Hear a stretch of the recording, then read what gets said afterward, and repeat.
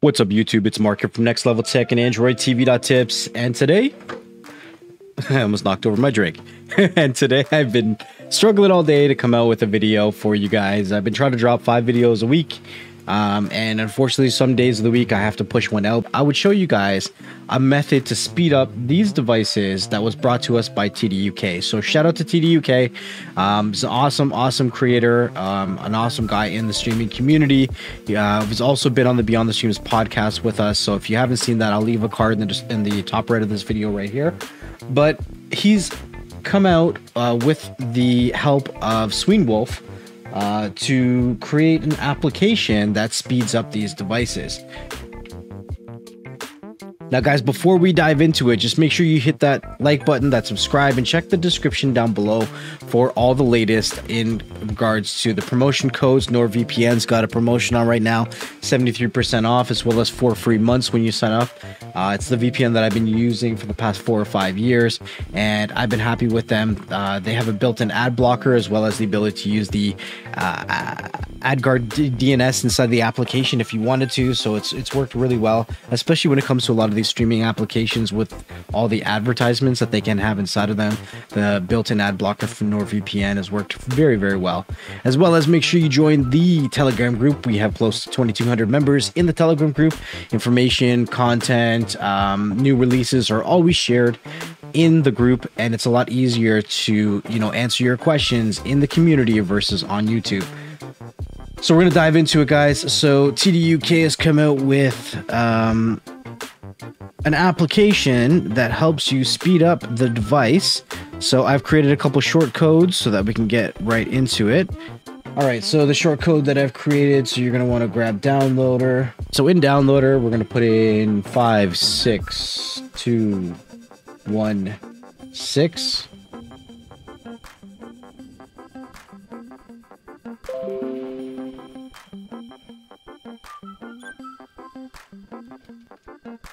We're going to install the change animation speed. Now, for any of you guys who are fluent in Android, a lot of us go into the developer options inside there and change the animation speeds on our phone so that it runs faster. So now this, the way that it works is that there's two applications. There's one that you install on another device that has Android, I think six or above. So your phones, another Android box, whatever, doesn't matter. And you would connect to this Fire Stick from there. So I have an emulator running on my PC right now.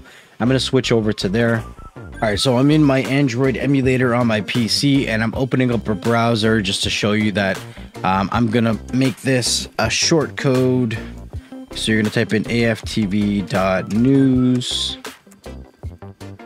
slash 16624 open it up and this is what it's going to look like. It's going to ask you to enter the Fire TV IP address. Now, where do we get that? Let's jump back over to our Fire Stick and find out. All right, so first thing for this process to work, you need to make sure that your ADB is turned on. Uh, we've already installed it, so you can go ahead and delete this application. So let's go back to our settings of our device.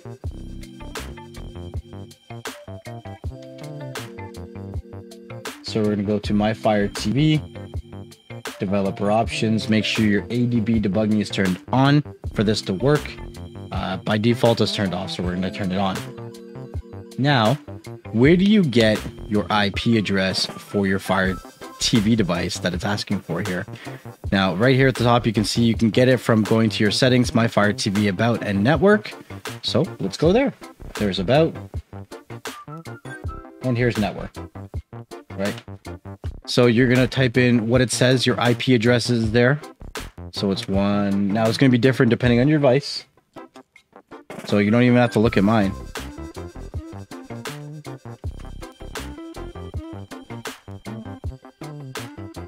All right, so once you've typed in whatever's in your IP address area there into the application here, you're going to click on connect. You're going to click on setup TDUK speed and you we'll switch back over to the fire stick it's going to automatically open this window now these are all set to zero if you do use a mouse toggle, it is recommended to use something like 0.5 or something like that. I don't use mouse toggle in my devices, so I'm cool. And we're going to save the values. Values saved successfully. Now, the only time you're going to see a difference is when you actually restart the device. So right now, you can see how it's acting. It's not bad. It really isn't. But let's go ahead and restart. Now I'm restarting by hitting the pause play button as well as the big circle OK button. And there we go, we're all restarted guys, so let's just see how the navigation is. And you can see that it is slightly faster. You can see that the animations when you're switching between stuff is not there. And it doesn't look as sluggish when you're navigating the actual device. Now this is something you can try out if you like it, if it works for you, cool. Let me know down below if you can tell the difference by using TDUK's speed and APK. I hope this video was helpful for you guys. It's been Mark from Next Level Tech, and I will see you guys on the next one. Peace.